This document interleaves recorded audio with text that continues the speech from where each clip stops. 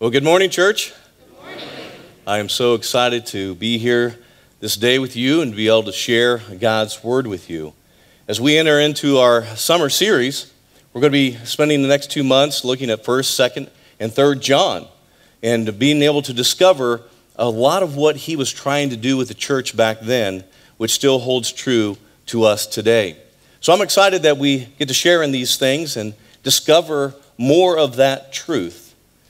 And as we begin today, we're going to be talking about the light, living in the light. Now, I think it's pretty, pretty neat that we kind of take time every year to celebrate the 4th of July. But as a kid, one of the, the greatest things that I loved to do was go into the darkness of the night on the 4th of July and sit and wait in anticipation for what? Fireworks. And why was it so amazing? Because it lit up the sky. It broke the darkness. It showed us something different, something amazing. There's something about light, isn't there? It kind of draws us in. It kind of gives us a, a point of comfort and understanding sometimes. We love the light. But sometimes, even in the light, it can be deceptive, depending on where it leads you. Satan would like nothing more for you to step away from the light of Christ. He'd love to give you another light, a light that is very deceptive, but it is not truth. So as we open up the Word today, we're going to have an opportunity to really dig in to what God is calling us to. Because one of the things I realized today is when it comes to light, people connect with it, but there's a lot of spirituality that's going on right now in our culture. And they want to be a spiritual being. They want to pursue something that's bigger than them. But they don't necessarily settle in on Christ. They just want to be spiritual. And it can lead them down all kinds of different roads. But yet, they're looking, aren't they? Just like we are. We're wanting to find meaning and purpose in life. And you know this thing called truth? It's become kind of subjective to whoever you're talking to.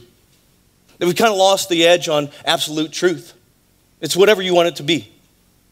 And because of that, the spiritual nature that people are pursuing ends up being whatever they want it to be, apart from His Word. But John comes in and he writes to the church.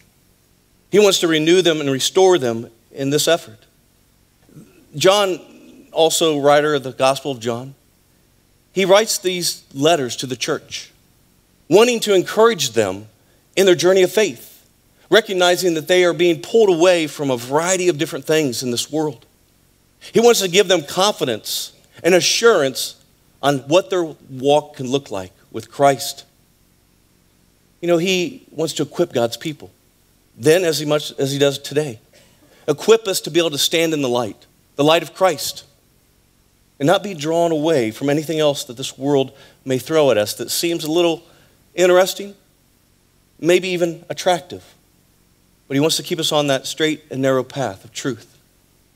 So every time that John writes, it becomes very evident that he's very passionate about what he is living for the truth of Christ.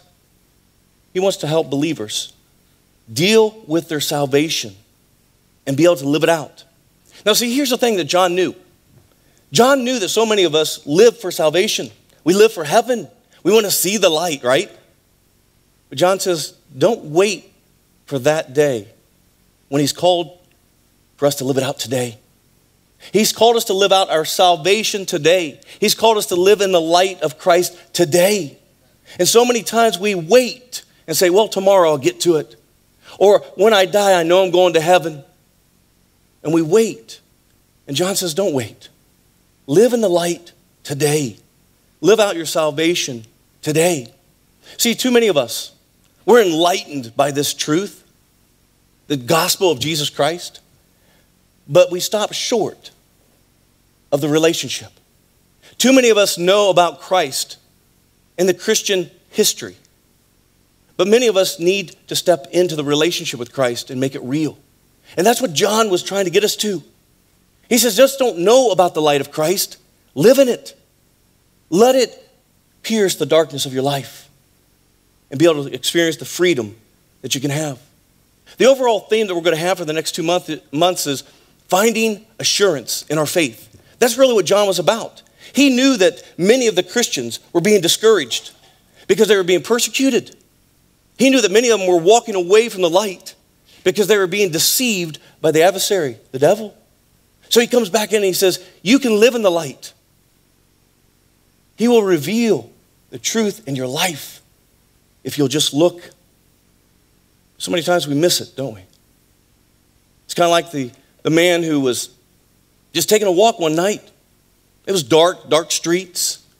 And he was walking, as many of us would, you know, kind of fumbling around with our phones. We can never just be still and just walk, right? We always have to be fumbling. Well, he fumbled with it and he lost his phone. He dropped it in, in the grass somewhere and he couldn't find it. And he became frantic and he got down on his hands and knees and he began to look around trying to find where his phone was at. But he couldn't find it. And this gentleman was taking a walk and he came up and he saw this guy on his knees looking around. He says, What have you lost? Uh, can I help you find whatever it is that you've lost? He says, Yeah, I lost my phone. I dropped it in, in the grass somewhere. He says, Where'd you drop it? He says, Well, somewhere over there. He says, Then why are you over here looking for it? He says, Well, the light's better over here by the light post. and, and the guy's sitting there going, That doesn't make sense. It doesn't make sense at all. If you lost it over there, why are you looking here? Oh, just because there's light? But see, so many times we do the exact same thing. We lose our steps of faith and we look in the wrong places. We believe that it's over here because it's attractive and it has some aspect of light. But Christ says, No, I am the light. Me and me alone in the light. There is no other way that you'll find this truth but through me. So many times we miss it. And many times we walk in our lives, church. We know that there's something missing in our lives, especially those who have had a life altering encounter with Jesus. We know where we're supposed to be walking, we know where we're supposed to be looking, but oftentimes we lose our way I mean, life happens, right? Uh, we get busy, it, it gets complicated, we get pulled in a thousand different directions. No wonder we lose our way. No wonder the light doesn't shine like it once did. But then what happens? We feel empty, don't we? We feel like we're just kind of going through a routine in life. We of numb to the everyday living. We say, really, this is what God called us to? But we've missed what He's called us to. It's not just about existing church, it's about really living. He called us to have life and life to the full, but it's through His light that we find this. I mean, we're desperate. We're desperate and we begin to look for this element that's missing in our lives. I've seen it, I've been there. But if we're honest with ourselves, we already know the answer, don't we? What's missing? Jesus. We know the truth. And oftentimes we've sacrificed the truth for something else, believing it to be a better truth or a new truth or my truth. But apart from Jesus, we can do nothing. But in Christ, we are a new creation. The old is gone and new has come. But like the man in the illustration, we're much like him. We know that something's missing. And we begin to look not to Christ. We look to everything else. And we're never going to have that fulfillment. We're never going to have that clarity of the path that we're to walk apart from Christ. There is no way possible. We have to pursue Him. We have to find our assurance in Christ and Christ alone. So let me ask you about this thing called truth. Number one, what is your life proclaiming to be truth? What is it? What is your life proclaiming to be truth? I mean, most of us, if not all of us, we've bought into the American way. Now, don't get me wrong. I love America. I love the freedom that we have. But freedom for what? What has this freedom given us? Has it given us a freedom to pursue whatever we want? Has it given us a freedom to create our own truth? Has it given us a freedom to walk away from the things that this country was founded on? Godly principles, faith in God, and freedom for all. We've lost our way. Because we don't allow the light to shine like it once did. And as Scott said, freedom is never free, it always comes with a cost. And the freedom that we have in America came with a great cost to many. But the ultimate freedom that we can have in Christ in America is to share the truth about Jesus Christ. We have that freedom. But how many of us are living that out? If you're proclaiming such a faith, do we see it in how you engage with your neighbors, your coworkers, your family? Could we talk to your family and they say, "Oh, absolutely. Dad's all about Jesus. Mom is all about Jesus." Is that what our children, our grandchildren would tell us? To tell me? Are we proclaiming this truth? What is life all about anyway? I mean, it's not about existing, is it? I hope not. That's pretty boring. I want my life to matter. And I know that you want your life to matter. So when you think of life, how do we define it? It's very important. Some would define life this way the sum total of the choices you have made and the experiences you have had. That's how they sum up life. But I want to say there's more to life than this. Yes, that's a part of it. But where do we find Christ in the midst of all of it? That's the question. And if we can get there, we'll begin to realize what God really wanted. What did God want? We're not a science project. God wanted a relationship with us. He breathed life into us to be able to walk with us, to be able to laugh with us, to love with us. That is what God wanted. And that has not changed from the beginning. What has changed is darkness has come. Sin has entered into the world. But God's desire is still the same that we would walk with Him in the light of Christ. But you know, before Christ was even made known to us, God made Himself known to us. He revealed Himself to His people. And that is so important that we see this. Return with me to Isaiah 43. Now, you may be saying, wait a minute, I thought we were studying 1 John today. We are, we're getting there. But too many times we miss the parallel between Old Testament and New Testament. There is so much that is connected between the old and the new, and we are so quick sometimes to just go to the new and forget about the foundation that was given through God. And what is happening here in Isaiah is God is speaking to the people. He's reminding them. He says, I formed you, I created you, I have provided a way out for you, I have given you hope, I have given you purpose. This is what God was saying to the people of, of Israel. But then he reached a point in that context. And he says, Now gather up all the nations, those who don't believe in me, and bring them and ask them about their idols. Ask them if their idols can predict what is going to happen. Ask them if their idols are going to provide what I have provided for you. Because he knew they couldn't. They never can because they're not real. They're just something made up, an idol. But then this is interesting. In verse 10, he says to the, the people of Israel, But you are my witnesses, O Israel, says the Lord. You are my servant. You have been chosen to know me, believe in me, and understand that I alone am God. There is no other God. There never has been, and there never will be. Is that powerful? That is the God that we serve. And he was making himself known to them. But it wasn't just about him. He says, I have given you the opportunity to be my friend, to be in a relationship with me, to encounter me. God, the creator of all things, says, I've invited you in. I want you to know what it means in the sunset. I want you to know what it means in creation. I want you to know me. I want you to love me, for I have loved you. You know what God did? He called him in to serve. He invited them to be a part of His plan of redemption for all humanity. God called me as He called you. But then it was interesting. He says, In my revealing, He says, I want you to believe. That's His desire. That's an invitation, isn't it? God could have forced you to believe in Him. But what kind of love would that have been? He gave us free will, didn't he? Free choice. But he says, I want you to believe in me. But not just believe in me, I want you to understand me. And see, that's the beauty of God. He says, I want you to know why. Why you're in a relationship with me. Why you can understand my ways. Because He revealed it.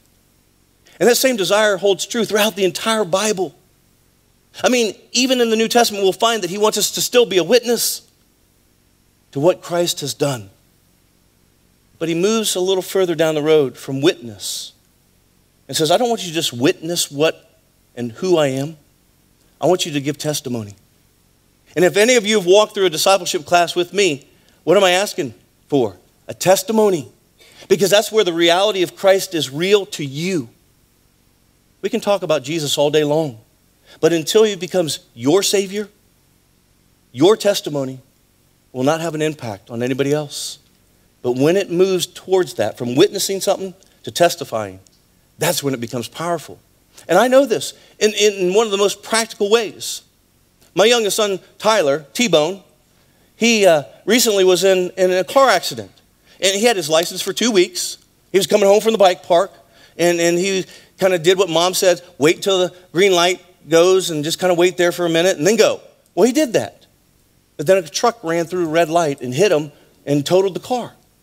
And instantly, this guy gets out and starts yelling at, at Tyler and says, Why'd you run the red light? He says, I didn't. But what I learned about a witness was there was many there that day. And you know, some of them got in the car and just drove off. They witnessed it, they saw it, they experienced it, they just left. But there was one, Tasha, your wife. She was frustrated because she was late to my class. but she decided to move from witness to testifying. And she was able to give testimony to the officer of what really happened.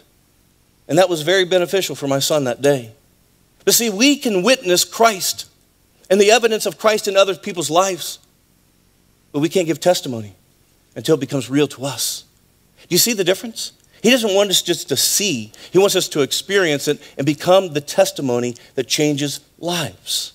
That is so, so important. Well, let's go to 1 John. In 1 John, we're going to pick it up in the very first verse. It says, We proclaim to you the one who existed from the beginning, whom we have heard and seen. We saw him with our own eyes and touched him with our own hands. He is the word of life. The one who is life itself was revealed to us, and we have seen him. And we now testify and proclaim to you that he is the one who is eternal life. He was with the Father, and then he was revealed to us. This is absolutely incredible what is happening with those that are moving from witness to testifier of what Christ has done. The importance of eyewitness. Think about it. This is not just hearsay. This is not something that's just been passed down through a conversation. These were eyewitnesses that looked upon Jesus and his life and his mission. And they wrote about that so that we could know the truth and the reality of who Jesus is. So you think eyewitness is important? Absolutely. But they weren't just witnessing, they went on to live it out in their own life. And that's what makes it powerful. We could sit and talk, but he says, I want you to move into action. I want your life to matter in the kingdom of God. And this eyewitness was so important because you take ownership. They defined the significance of Jesus at a whole nother level because they were engaging with Christ in a real way. They talked about him being the word of life. It's kind of like the roadmap that we are given for our lives. And he says, in fact, he's not just a roadmap, he is what? Life. And so many times we chase so many things believing that this will give us life, this will give us purpose. And Jesus says, I am life, I am purpose. So we don't need to look anyplace else outside of Christ when it comes to this. But then he moves on. In verse 3, it says, We proclaim to you what we ourselves have actually seen and heard, so that you may have fellowship with us. And our fellowship is with the Father and with the Son, Jesus Christ. We are writing these things so that you may fully share our joy. There's a purpose in giving testimony. It's to invite others into what you have encountered with Christ. It's absolutely amazing. Testimony, moving into moving from witness to testimony brings about a change for everybody that hears it. And that's what we have to give. When's the last time you gave your testimony? When's the last time you allowed somebody to see the reality of Jesus in you? Just don't tell them that you go to church. Yeah, I go to church at True Life Community Church. So what? That means nothing apart from Jesus. Do you get it? If you never mention True Life Community Church and all you get to is Jesus, I'm good with that. Do you hear me? They'll find their way. They'll want to know more, but they need to know Jesus first. Why do we give testimony? Because it's invitation into fellowship. And what is fellowship? Biblically speaking, it's being willing to walk with one another in the journey of life. I want to fellowship with you as a fellow Christian. I want to take on that burden of life with you. I love you enough to walk with you. That's what he calls us to. And John knew that they were getting away from this. But the true source of fellowship is always going to be Christ. He's going to keep us connected, even in our indifferences. And somebody told me today that how many days is it going to be until football season? What was it, 60 days or something like that? There's going to be some conflict here, okay? All right? Conflict. Okay, I'm a Wolverine fan if you don't know.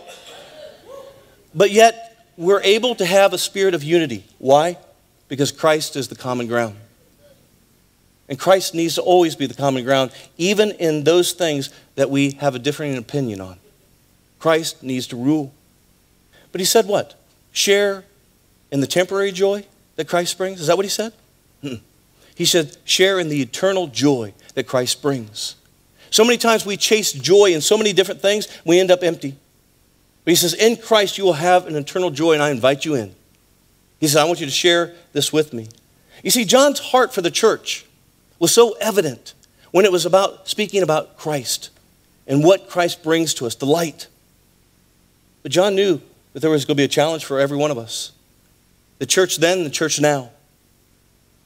We have a choice to make, as we do every day. We have to choose to live in the light or darkness. Second point. We have a choice to live in the light or darkness. Now, most people say, oh, give me, give me the light. I want to live there. You know, I never knew what a dark house was because my mom had so many twinkly lights everywhere. so I never knew what it was to sleep in a dark room. Still don't. You go over to her house, it's like lit up. You could land a plane there. But anyway, we have to make these choices. But why are we drawn to the light? Because it brings about safety, it brings about something that's comforting. But Satan wants to take that, and he wants to abuse that. And he wants to take us down a path that is not the path of light. He wants us to believe that it is, but it only leads us down a path of darkness. So, John Olivia read this this morning, and it's absolutely beautiful scripture. I'm going to read it again. John writes, In the beginning, the Word, capital W, because it's Christ, okay, already existed. The Word was with God, and the Word was God.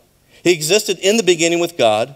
God created everything through him, and nothing was created except through him. The Word gave life to everything that was created, and his life brought what? Light to everyone. The light shines in the darkness, and the darkness can never extinguish it. Isn't that absolutely amazing? I mean, you can have a pitch black night, and one firecracker will light up the sky, won't it? It breaks through the darkness. And that's what Christ wants us to realize that that truth holds for us. And again, he reminds us of this in 1 John, the fifth verse. He says, This is the message we heard from Jesus, and now declare to you God is light and there is no darkness in him at all. So, do you think there's something significant about light? Absolutely. He uses it time and time again to point ourselves to the truth of who he is and what light does for us. What does light do for us? Light reveals, doesn't it? It's much better to, to sit in a room with light because you can see things around us. Light reveals, darkness hides. As scripture lays it out, light is equal to goodness often, and darkness is often equal to wickedness, evil, sin. That's how we see it in Scripture. But there was a scripture that I want to read with you. In Psalms, in Psalms 109, 105, it says, Your word is a lamp to guide my feet and a light for my path. You know, that was one of the first memory verses I learned as a child. I remember that in Sunday school. And I held on to that because I didn't like darkness. And I wanted to realize and understand how Jesus could be that light. But he shows up and he makes clear the path that we are to go if we'll just give him the opportunity to show us. Now, why this verse is so important is because sometimes, church, we prefer the dark path. Now, we may not always be honest with ourselves. We may not just come out and say, Yeah, I, I prefer the dark path. But we'd rather call it this I'm overcommitted. Life is a little too demanding. You understand, right, Pastor? You know, when, when life gets a little bit easier, when this changes, when that changes, I'll, I'll get back to church, I'll get back to praying, and I'll definitely get back to serving. That's how it goes. We want to believe that we're on the path that God has laid out for us. We want to believe that the light is showing us the way, but we often walk away from it. Little by little, we do this. And darkness begins to creep into our lives, sometimes without even recognizing it. Sometimes you wake up and you say, How did I get here? It wasn't just overnight, it was step by step, away from the light of Christ. In fact, we see this in 1 John, pick it up in verse 6. It says, So we are lying if we say we have fellowship with God, but go on living in spiritual darkness. We are not practicing the truth. Spiritual darkness. Do we even know what that means in our lives? We have to begin to recognize what He's laid out for us. Spiritual darkness. Let's go back to defining life. Life is the sum total of the choices we've made. So, what do those choices reveal about you? What do they reveal about me? Are we living in the light of Christ or are we having a moment of spiritual darkness? I can't answer that for you. But he goes on and he says in verse 7 But if we are living in the light as God is in the light, then we have fellowship with each other, and the blood of Jesus, his son, cleanses us from all sin. There is good news in this. John recognizes that we'll get off the path, that we'll begin to have elements of spiritual darkness in our lives. But he says, if you live in the light, as God is in the light, he will make clear the path for you to go. And that's where I want to journey. This is God's plan. It always has been his desire. He doesn't want to leave us in the darkness, but he says, I want to pierce the darkness with my light and reveal to you what needs to change, where you need to go. But he also said, I want you to fellowship with one another. That's important because together we are stronger than apart. Satan loves to isolate us, get us off the path of righteousness. But then that's when we start going down the road of darkness. You know, when we have fellowship with God, and I hope that you do often, He reveals this truth in our lives because that's His desire. But again, you have the freedom. Every one of us has the freedom to choose. So, how are we going to choose? Are we going to choose the light of Christ or the darkness of this world? Well, most of us say, I don't want the darkness of the world, but yet we walk that path all too often. I choose the light. And guess what, church? I have to make that choice every day of my lives.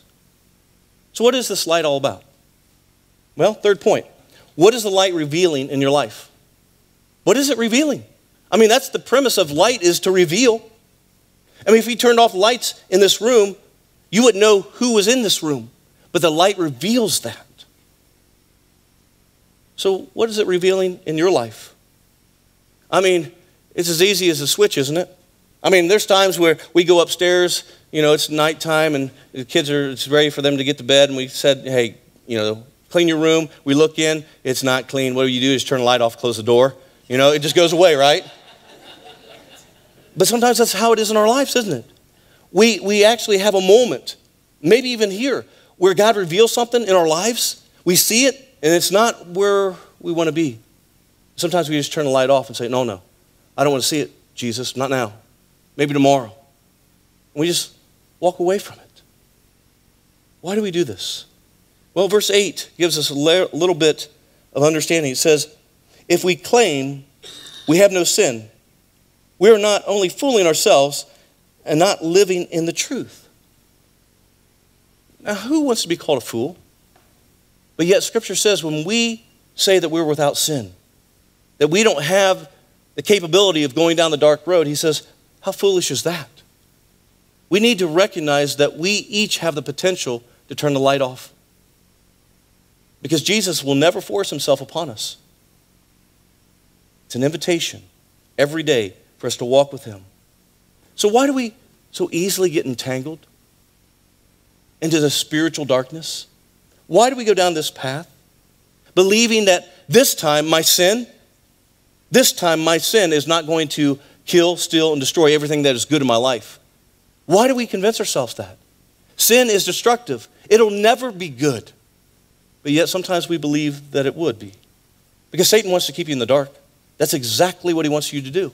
He wants you to be naive to the consequences of your choices. He doesn't want you to see the light of Christ in your life. What happens in darkness? What adjusts? Our eyes, don't they? If we dim down the lights, took away most of the lights, eventually you guys, your eyes would adjust and you'd be like, okay, I can do this. It's not so bad. I can get out of the room.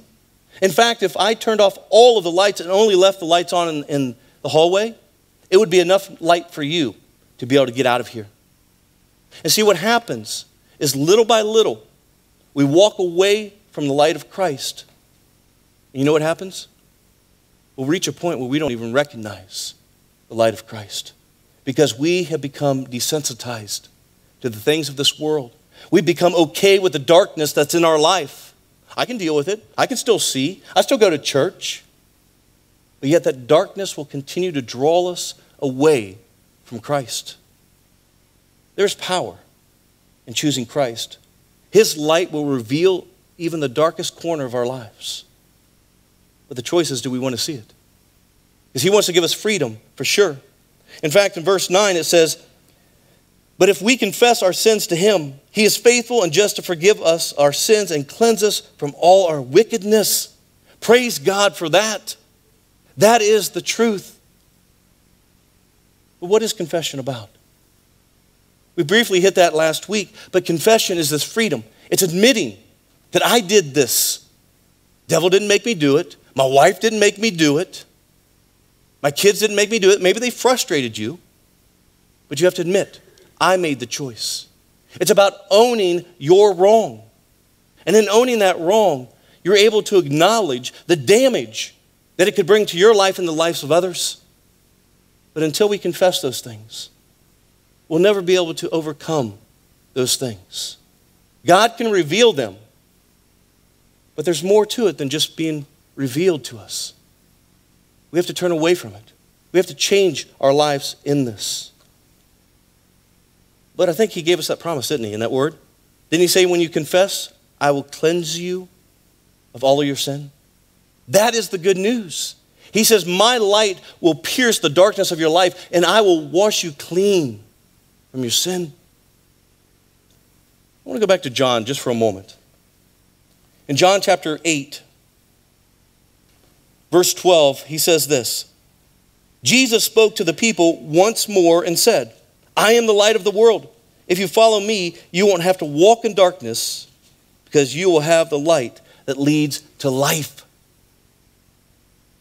You see this over and over again? Jesus says, Once more I had to tell them. How many times has He has to tell us to change our ways, to open our eyes to what He is showing us? It's a constant reminder, isn't it? And then we see this final piece in verse 10. It says, If we have claimed to have not sinned, we are calling God a liar and showing that His word has no place in our hearts. Why is this again? Because we are so good at justifying our walk we can say, oh, yeah, I'm a Christian, I'm walking in the light. But as soon as they look into the corners of your life, they see very clearly that it's not, there's not much light there at all. Because we are good at justifying these things. And he has to tell us time and time again that if we do not confess, there's a dangerous road that stands before us. But in that confession, there's freedom. We don't want to close the door on the light of Christ, we want to let it shine. Now, here's the thing I know this. Many of you have had these moments on a typical Sunday morning, just like this, where you felt God pour over you. You have felt God reveal something to you, but you resisted it. You didn't want to acknowledge it. And you were just hoping that the service was going to get over so it would just go away. And you know what? You have that freedom. You will always have that freedom to walk away. But I promise you, God will never stop pursuing you. He'll never stop giving you the light to reveal these things in your life.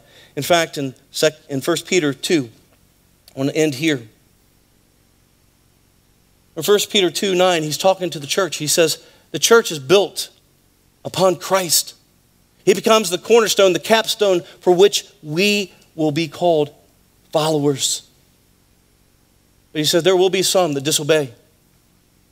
They know the truth, but they will disobey. And he says, The fate will hold true to them separation from God for all eternity. But in this verse, verse 9, it says, But you are not like that, church. For you are a chosen people. You are a royal priest, a holy nation, God's very own possession. As a result, you can show others the goodness of God. He called you out of the darkness into his wonderful light. This is a beautiful message for each of us. What does he tell us? He says, You are. You're chosen. You're a priest. You are my prized possession. Each and every one of you. That's what God is telling us. And He says, as a result, He says, you can bring forth the goodness of God through your testimony. Not just because you witnessed it, but because you're living it out. He says, your potential in Christ is so incredible. And it comes down to our purpose. The purpose of this life is not about us, is it?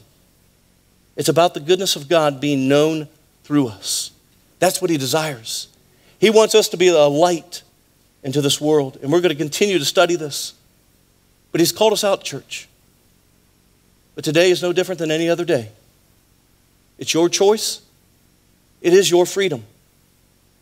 But understand this God is a just God. And He says, For those who walk in the light, as I am in the light, His promise and provision is for all eternity that which is good and perfect. But he says, Those who choose to live in the darkness apart from me, they too have an eternal destiny that is apart from me. Not a place that I would ever want to go. So live in the light today, church. Choose Christ today, tomorrow, and forever. And let his light shine. Let's pray. Father, we thank you for John's willingness to challenge the church then and challenge the church today. We need the assurance of salvation in Christ. We need to be reminded that the darkness is always trying to push in, but the light of Christ can never be extinguished. And Father, I pray that each of us today would say, Lord, please shine your light on me. I do want to see the areas of my life that need to change. I do need to see the path that you are calling me to walk. But it's only through your light that it reveals these things. Jesus, I need you. I need you now. Lord, watch over your people and move them into a greater truth and understanding of who you are. In Jesus' name, amen. Good morning, church.